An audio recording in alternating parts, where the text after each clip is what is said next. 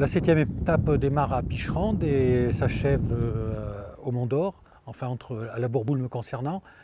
Euh, c'est la plus courte, elle fait 25 km, euh, mais 25 km plutôt difficile puisqu'il va falloir que je quitte Picherande, que je monte sur la fontaine salée et que je continue à monter pour accéder en haut du Sancy. Puis par les crêtes, je vais redescendre jusqu'au Capucin et enfin à la Bourbouille au Mont d'Or. Le 106, c'est un, des sommets bien sûr symboliques du, du Massif central puisque c'est le, point culminant, je crois, à 1886 mètres.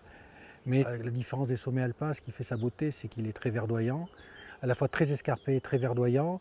Euh, quand on est au sommet, c'est vrai que l'arête est quand même assez vertigineuse et, impressionnante. que la montagne est belle Comment peut-on s'imaginer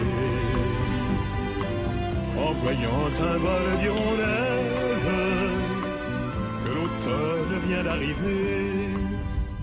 Il n'y a pas toujours euh, du monde, c'est-à-dire que si on, arrive un peu tard le soir ou un peu tôt le matin, le téléphérique n'a pas encore euh, déversé son, flot de touristes.